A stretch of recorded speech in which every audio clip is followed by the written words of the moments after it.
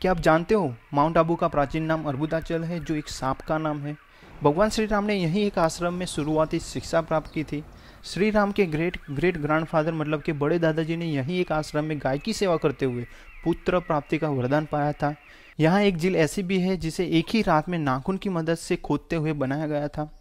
राजस्थान के सिरोही डिस्ट्रिक्ट के अलवली रेंज में आया हुआ ये पर्वत करीबन 22 किलोमीटर में फैला हुआ माउंट आबू। आज राजस्थान का एक बहुत ही प्रसिद्ध टूरिस्ट डेस्टिनेशन है, जहाँ हर दिन हज़ारों लाखों लोग आते हैं। इस वीडियो में हम माउंट आबू की history places to visit food transport और भी कुछ टॉपिक्स के बारे में बात करेंगे। तो चलिए सबसे पहले हम जानते हैं माउंट आबू की हिस्ट्री। ऐसा माना जाता है कि जहाँ माउंट आबू है, वहाँ हज़ारों साल पहले बहुत गहरी खाई थी और वो खाई पूरने के हेतु गुरु वशिष्ठ हिमालय के पास गए। हिमालय ने अपने पुत्र नंदीवर्धन पर्वत को अर्बुदनाग के साथ यहाँ भेजा और ऐसे वो गहरी खाई को पुर दिया गया और नंदीवर्धन पर्वत का नाम अर्बुदा चल पड़ा, जो धीरे धीरे आबू के रूप में परिवर्तित हो गया। यहाँ वशिष्ठ आश्रम में राजा दिलीप ने 21 दिन तक गुरु वशिष्ठ की नंदिनी गाय की सेवा करके पुत्र प्राप्ति का वरदान पाया था, जिनके वहाँ राजा रघु जैसा पुत्र उत्पन्न हुआ।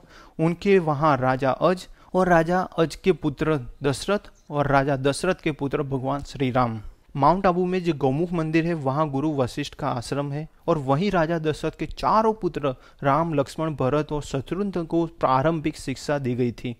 तो आप समझ सकते हो कि इस जगह का पौराणिक महत्व कितना है। वैसे तो माउंट आबू की हिस्ट्री एंड रिलेटेड स्टोरीज इतनी ज़्यादा है कि उनकी बात करेंगे तो सिर्फ़ हिस्ट्री का ही वीडियो दो से तीन घंटे का हो जाएगा। तो अब हम बात करेंगे कि आप माउंट आबू कैसे पहुँच सकते हो। मैं अहमदाबाद से टू व्हीलर व्हीकल पर 230 किलोमीटर ड्राइव करते हुए माउंट आबू पहुँचा था। वैसे आप पब्लिक या प्राइवेट ट्रांसपोर्टेशन की मदद से बड़े आराम से माउंट आबू पहुँच सकते हो। अगर ट्रेन की बात करें तो नज़दीकी railway station Abu road railway station है जो 27 किलोमीटर के डिस्टेंस पे है। राजस्थान में जीएसआरटीसी बस की मदद से भी आप माउंट आबू पहुँच सकते हो। नज़दीकी एयरपोर्ट उदयपुर में है, जो करीबन 170 किलोमीटर के डिस्टेंस पे है। अगर आप वीकेंड में आ रहे हो तो होटल ढूँढने में थोड़ी परेशानी हो सकती है। और फेस्टिवल के दौरान शायद आपको इजीली एंड बजट में होटल ना भी मिले, ऐसा भी हो सकता है। जैसे कि दिवाली में दो महीने पहले से ही यहाँ होटल्स की एडवांस बुकिंग स्टार्ट हो जाती है। वैसे यहाँ बहुत सारे होटल्स गेस्ट हाउस रिसोर्ट धर्मशाला अवेलेबल है। माउंट आबू में स्टे करने के लिए हंड्रेड रुपीज़ से लेकर अनलिमिटेड बजट तक आपके पास ऑप्शन अवेलेबल है। कुछ टेम्पल्स भी है जहाँ आप एडवांस में परमिशन लेकर विदाउट एनी चार्ज मंदिर के प्रीमाइसिस में रुक सकते हो। मेरी माउंट आबू की तीन दिन की ट्रिप में एक दिन नकी लेक के पास में जो रघुनाथ जी टेंपल में डॉर्मेंट्री है, वहाँ में रुका था, जिसका चार्ज पर नाइट हंड्रेड रुपीज़ था। और दूसरे दिन स्वामीनारायण टेंपल जो सर्किट हाउस के बिल्कुल ही पास में, वहाँ पे मैं रुका था, जिसका चार्ज पर नाइट एट हंड्रेड था। देखो, वैसे तो माउंट आबू में बहुत सारे प्लेसेस है विज़िट करने के लिए। अगर आप अपना पर्सनल व्हीकल लेके आ रहे हो तो कोई बात नहीं। अदरवाइज़ आपको यहाँ पे रेंट पे बड़े आराम से व्हीकल भी मिल जाएँगे, जिसमें टू व्हीलर के 300 से 500 हंड्रेड होते हैं। बुलेट जैसी बाइक के 800 हंड्रेड और फोर व्हीलर के 1200 से अट्ठारह सौ रुपये और थार जैसी फोर व्हीलर के 2500 से तीन हज़ार रुपये पर डे का चार्ज होता है, जो सीज़न के हिसाब से अप डाउन होता रहेगा, लेकिन आपको यहाँ पे बार्गेनिंग ज़रूर करनी है। माउंट आबू बहुत ही पॉपुलर हिल स्टेशन है, जहाँ आपको हर किस्म का खाना और पीना मिल जाएगा। अगर आप वेजिटेरियन हो या नॉन वेजिटेरियन फिकर नॉट, यहाँ आपको सब कुछ मिलने वाला है। यहाँ हंड्रेड से लेकर थाउजेंड्स तक छोटी बड़ी रेस्टोरेंट्स अवेलेबल है। वैसे मैंने अपने ट्रिप के दौरान संडे को एक रेस्टोरेंट पे बहुत ही ज़्यादा क्राउड देखा था। नकी लेक जाते हुए बाबा साहेब आम्बेडकर सर्कल है, वहाँ पे अरबुदा रेस्टोरेंट है। वहाँ पे यूजुअली बहुत ही भीड़ रहती है। वैसे मैंने अपनी ट्रिप में, होटल गुजरात में एक गुजराती डिश ट्राई की थी, जिसकी प्राइस वन एटी रुपीज़ थी। लेकिन टेस्ट के हिसाब से वो इतना अच्छा नहीं था। दूसरे दिन नकी लेक के पास में जो होटल हॉनेस्ट है वहाँ पे साउथ इंडियन ट्राई किया था, जो काफ़ी अच्छा था। और बाकी के दिनों में मैंने स्वामीनारायण टेंपल में जहाँ कैंटीन है, वहाँ डिफरेंट फ़ूड ट्राई किया, जो बहुत ही टेस्टी था। मतलब इतना समझ लीजिए कि माउंट आबू में, खाने पीने में आपको कोई भी परेशानी नहीं होने वाली। देखो, वैसे तो मैं माउंट आबू काफ़ी बार आ चुका हूँ, लेकिन इस बार सोलो ट्रैवलिंग कर रहा हूँ और कुछ अनएक्सप्लोर प्लेसेस को भी एक्सप्लोर करने वाला हूँ। ऐसे दो प्लेसेस जो मैंने फ़र्स्ट टाइम एक्सप्लोर किया और उनमें से एक place one of my favourite place in Mount Abu बन चुका है, जिसकी बात हम बाद में करेंगे। माउंट आबू में बहुत सारे प्लेसेस है विज़िट करने के लिए जो आप दो या तीन दिन में तो विज़िट कर ही नहीं सकते, लेकिन कुछ पॉपुलर डेस्टिनेशन है जो आपको ज़रूर विज़िट करने चाहिए। उनमें से नक्की lake and Guru Shikhar must visit places है। तो चलिए हम साथ में वर्चुअली वो सारे प्लेसेस को विज़िट करते हैं जो मैंने इस तीन दिन की ट्रिप में विज़िट किए हैं। फ़र्स्ट डे टेंथ सितंबर 2022 माउंट आबू में गुरु शिखर रोड पर आगे बढ़ते हुए सबसे पहले मैंने सोमनाथ महादेव मंदिर विज़िट किया और उसके बिल्कुल ही पास में संत सरोवर, जो काफ़ी खूबसूरत छोटा सा तालाब है, जिसमें आपको कुछ मछलियाँ भी देखने को मिलेगी। बाद में मैंने विज़िट किया अचलेश्वर महादेव टेंपल जो नाइन्थ सेंचुरी में परमार डायनेस्टी में बनाया गया था। आपको ये पता ही होगा कि महादेव के मंदिर में शिवलिंग की पूजा की जाती है, लेकिन इस मंदिर में भगवान के पैर के अंगूठे की पूजा की जाती है। वहाँ से आके जैन टेंपल और एक हिल पर चामुंडा माता जी का भी मंदिर है। इवनिंग के टाइम पे मैं गुरु शिखर पहुँच गया, जो माउंट आबू की सबसे बड़ी चोटी है, जो सी लेवल से 1722 मीटर की हाइट पे होने के साथ साथ माउंट आबू में सबसे ज़्यादा विज़िट किया जाने वाला मेजर अट्रैक्शन भी है। मेरे हिसाब से आपको यहाँ अर्ली मॉर्निंग या फिर इवनिंग के टाइम पे ही आना चाहिए। सेकेंड डे 11 सितंबर 2022 मॉर्निंग में मैंने सबसे पहले विज़िट किया टोल रॉक जो नकी लेक के पास में है। और ये वही जगह है जहाँ स्वामी विवेकानंद जी ने कुछ हफ्तों तक तपश्चर्या भी की थी। वैसे यहाँ एक ऐसा रॉक है जिसका सेप टोड मतलब कि मेंढक जैसा है, और इसीलिए इसे टोल रॉक भी कहते हैं। बाद में मैं नकी झील के पास में जो परिक्रमा मार्ग है, वहाँ पे वॉकिंग करते हुए थोड़ा टाइम स्पेंड किया। दो छोटे गार्डन भी विज़िट किए और बाद में पहुँच गया माउंट आबू के सबसे ज़्यादा विज़िट की जाने वाली जगह नकी लेक सिर्फ़ एक ही रात में नाखून मतलब नेल की मदद से इस झील को बनाया गया था और इसीलिए इसे नकी झील कहते हैं, जो इंडिया का एक लौता आर्टिफिशियल लेक है, जो इतनी हाइट पे है।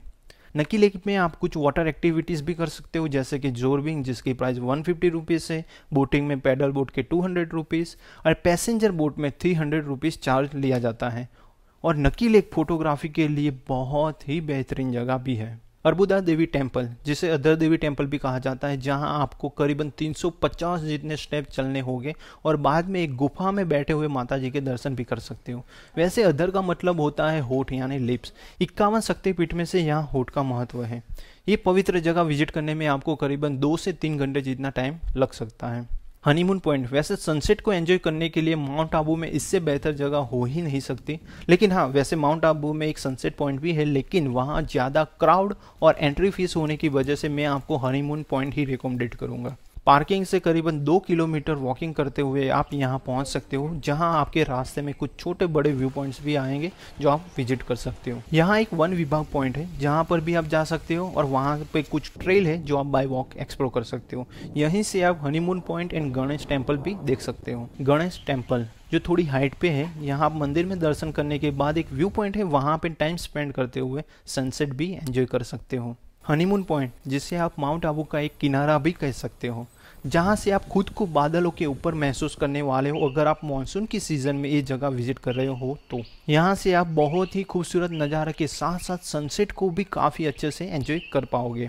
थर्ड डे ट्वेल्थ सितंबर 2022 आज मैंने कुछ ऐसे प्लेसेस एक्सप्लोर किए जिसे मैंने पहले कभी विज़िट नहीं किया। सबसे पहले मैंने एक अनएक्सप्लोर प्लेस को विज़िट किया जिसका नाम है गौमुख टेंपल गौमुख सर्कल से करीबन तीन किलोमीटर की दूरी पर आप अपना व्हीकल लेके यहाँ तक आ सकते हो, लेकिन यहाँ पार्किंग से आपको करीबन 800 जितनी सीढ़ियाँ नीचे उतरने के बाद ही आप गौमुख टेंपल तक पहुँच पाओगे। यहाँ गौमुख स्टेच्यू में से हर रोज सरस्वती नदी का पानी बहता ही रहता है। यहाँ से थोड़ा ही आगे है गुरु वशिष्ठ आश्रम जहाँ भगवान श्री राम ने शुरुआती शिक्षा प्राप्त की थी। यहाँ कुछ मंदिर भी है और काफ़ी सारे लोग यहाँ मेडिटेशन के लिए भी आते हैं। अगर आप यहाँ रुकना चाहते हो तो परमिशन लेके आप यहाँ ज़रूर स्टे कर सकते हो। मेरे पास करीबन छः महीने से ड्रोन है और मेरी हमेशा से एक ख्वाहिश रही है कि मैं एक ऐसा ड्रोन शॉट लूँ जहाँ पहाड़ों के बीच में बादलों से बात करते हुए कुछ वीडियोस को कैप्चर कर पाऊँ और वो मेरी इच्छा यहाँ पूरी हुई। तो चलिए देखते हैं कुछ बेहद खूबसूरत ड्रोन व्यूज़